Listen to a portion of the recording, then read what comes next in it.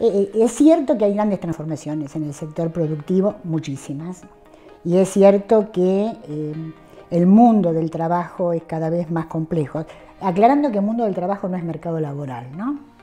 Entonces es cierto que hay muchas transformaciones en el mundo del trabajo, pero también es bueno tener claro, sobre todo cuando uno lo plantea desde la universidad, que forma técnicos o profesionales para ese mundo del trabajo, saber que Pepe, María, Andrés, Simón van a insertarse laboralmente, eh, no solamente en los sectores de punta, que son en general por los procesos productivos que están mucho más automatizados, por ejemplo, sector automotriz, en donde hay muchas fases de la producción que están este, automatizadas y no precisa mano de obra, saber que todos estos sujetos o estas personas tienen derecho a insertarse laboralmente, que no hay un aparato productivo homogéneo.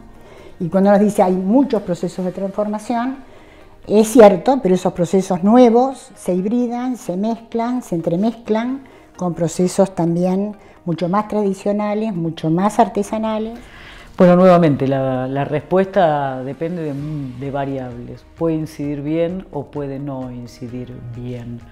Eh, ¿En qué sentido? No? En que eh, son los procesos tecnológicos involucran nuevas formas de trabajo y esas nuevas formas de, trabajo eh, pueden estar más o menos reglamentadas, pueden propiciar mm, nuevamente, ¿no? pueden propiciar mayores o menores grados de inclusión y de mejoramiento de la vida de los trabajadores o no.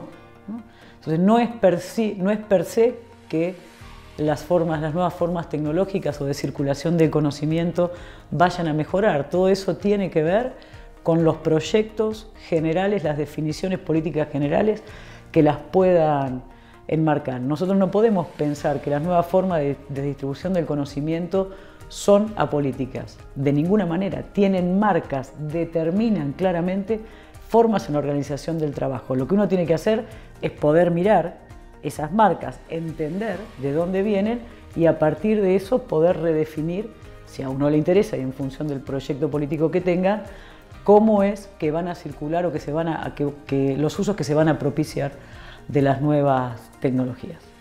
Necesitamos dar un salto, pero cuántico, espectacular en lo que es la calidad de la educación y también el para qué. Creo que el ejemplo de la Universidad de, de Rafaela es impresionante porque tiene carreras que están mirando al futuro, porque ha pensado su currícula pensando en, no solamente, solamente aplicar conocimiento para, el saber, sino para la producción.